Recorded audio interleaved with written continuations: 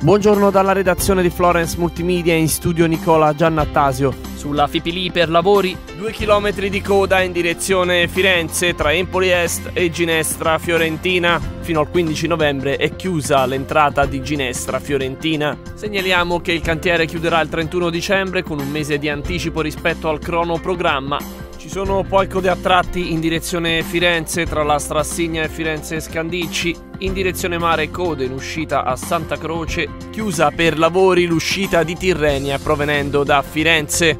In A11 per traffico intenso in direzione Firenze, code tra Sesto Fiorentino e Firenze Peretola e code a tratti tra Pistoia e Firenze Ovest. Orsi Toscana è un servizio realizzato in collaborazione con Regione Toscana, Città Metropolitana di Firenze e Comune di Firenze. Buon viaggio!